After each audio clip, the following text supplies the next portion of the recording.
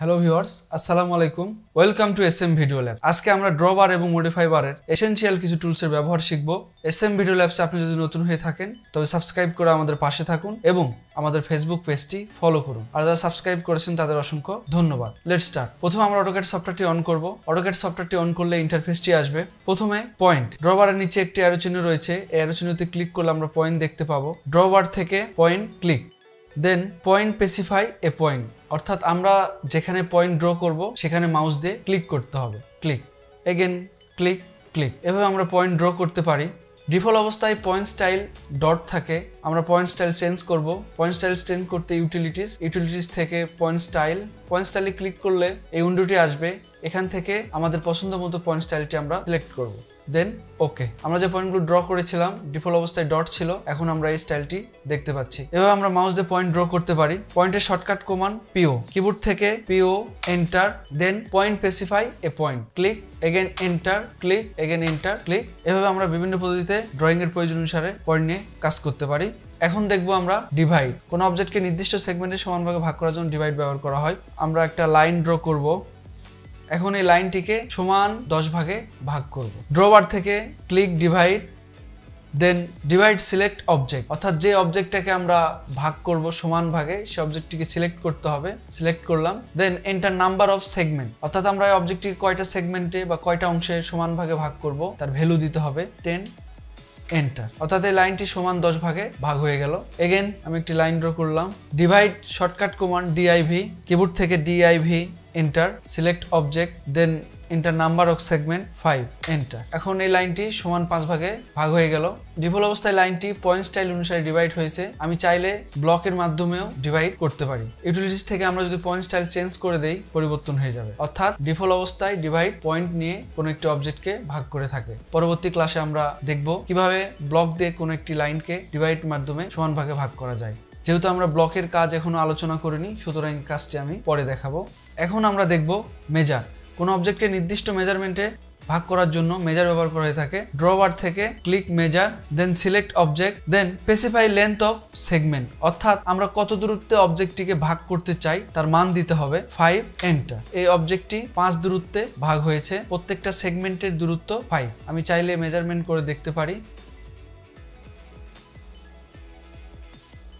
একটি সেগমেন্ট থেকে অপরটি সেগমেন্ট বা একটি অবজেক্ট থেকে অপর অবজেক্টের দূরত্ব ফাইভ এগেন আমি একটি লাইন ড্র করলাম। মেজারের shortcut command M E keyboard থেকে M E enter then select object then enter length of segment two enter আমি মেজার করে দেখি। একটি পয়েন্ট থেকে অপরটি পয়েন্টের দূরত্ব টু এগেন ক্লিক হিয়ার এভাবে আমরা কোনো অবজেক্টকে নির্দিষ্ট মেজারমেন্টে ভাগ করতে পারি। এখন আমরা দেখব রিজিয়ন কোনো টু ডি অবজেক্টকে জোড়া লাগানোর জন্য রিজুন ব্যবহার করা হয়। কোনো অবজেক্টকে রিজুন করলে একটি সারফেস তৈরি হয়। প্রত্যেকটা লাইন আলাদা। এখন আমি রিজন করব। ড্রবার থেকে click region then select object enter অবজেক্টটি এখন জয়েন হয়েছে। এই কাজটি আমি জয়েন দিয়ে করতে পারি। মডিফাই বারের একটি কমান্ড জয়েন কিবোর্ড থেকে J enter select object enter join হয়েছে।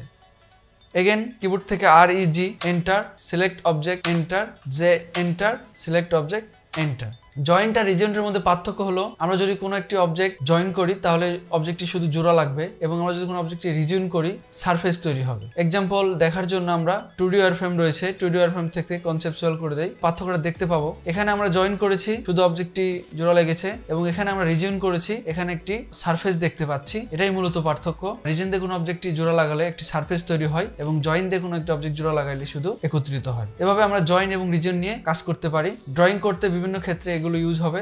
আমরা পরবর্তীতে এগুলো দেখব। কোনো অবজেক্ট ড্র করতে গেলে রিজিউন এবং জয়েন্টের অনেক ব্যবহার রয়েছে। বিশেষ করে থ্রি কোনো অবজেক্ট ড্র করতে গেলে রিজিউনের বিকল্প নেই। যে কোনো অবজেক্ট টু থেকে থ্রি করতে গেলে আমাদের রিজন করতে হবে।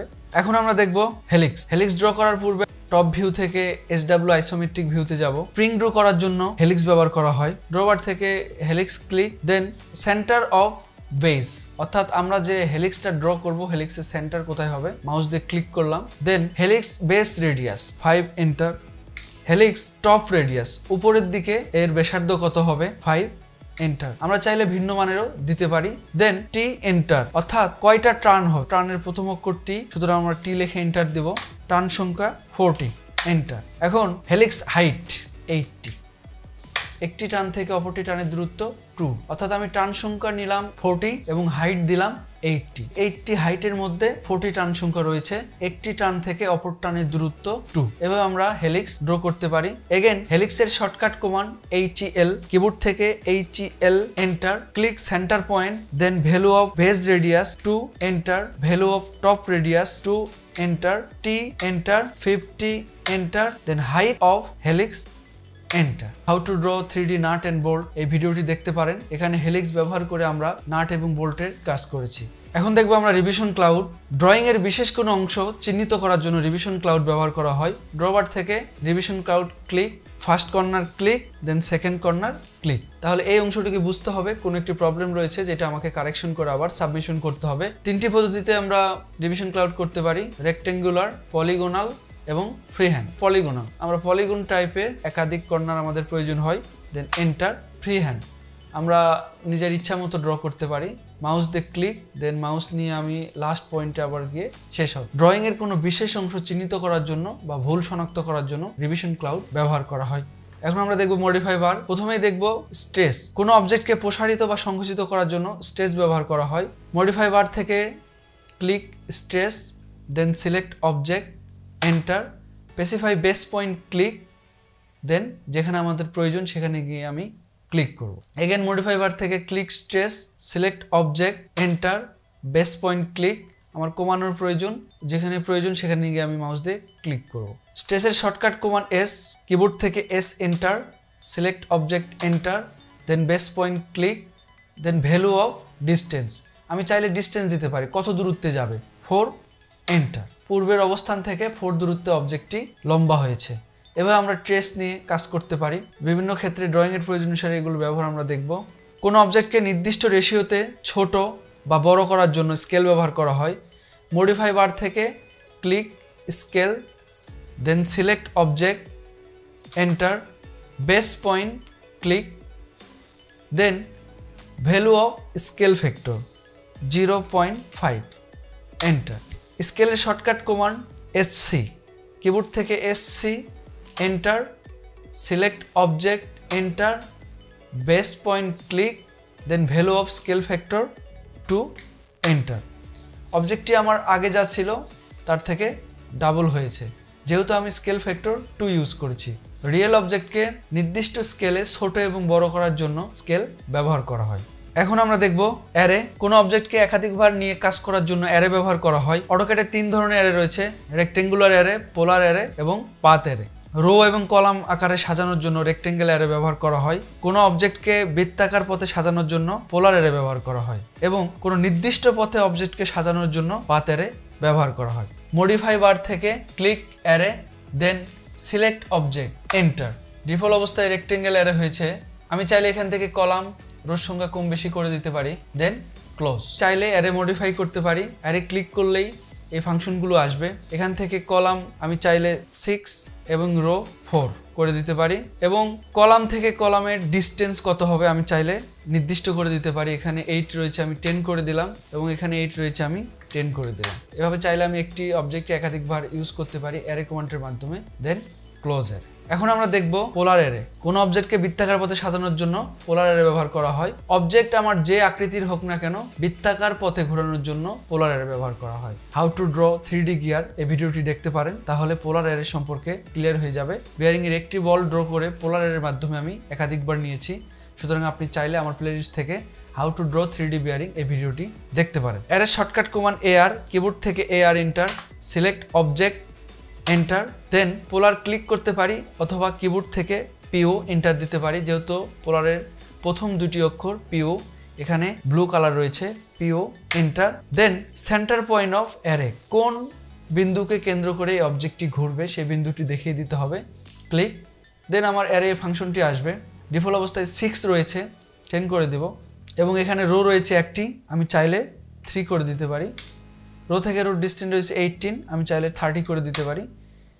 দেন ক্লোজ অ্যারে এভাবে আমরা পোলার অ্যারে করতে পারি। কোনো একটি সার্কুলার টেবিলে যদি আমরা চেয়ার সাজাতে চাই, তাহলে এভাবে আমরা প্লেসমেন্ট করতে পারি।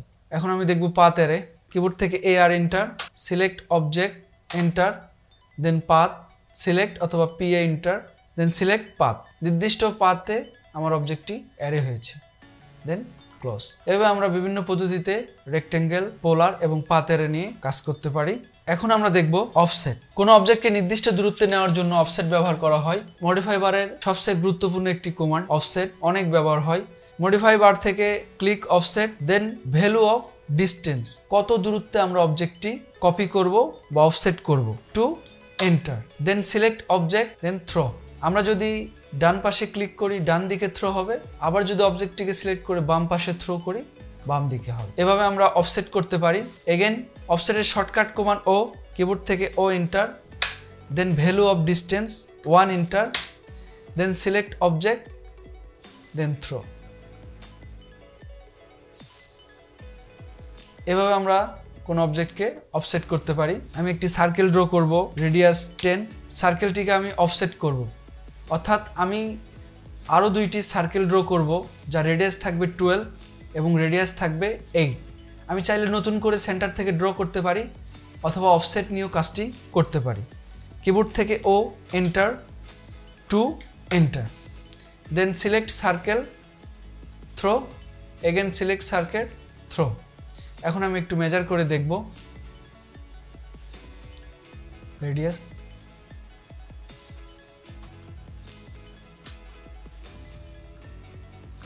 প্রথম যে সার্কেল ড্র করেছিলাম রেডিয়াস টেন পরবর্তীতে অফসেট নিয়ে বাইরের যে সার্কেলটি ড্র করেছি টুয়েলভ এবং ভিতরের যে সার্কেলটি ড্র করেছি এইট চাইলে এভাবে অফসেট নিয়ে আমরা বিভিন্ন অবজেক্ট ড্র করতে পারি। পরবর্তী ক্লাসে আমরা এগুলো টুলস ব্যবহার করে বিভিন্ন অবজেক্ট ড্র শিখব। ধন্যবাদ সবাইকে ভিডিওটি শেষ পর্যন্ত দেখার জন্য। ভিডিওটি যদি আপনার ভালো লেগে থাকে লাইক কমেন্টস এবং শেয়ার করবেন। আজকে এখানেই বিদায়। দেখা হবে নেক্সট ভিডিওতে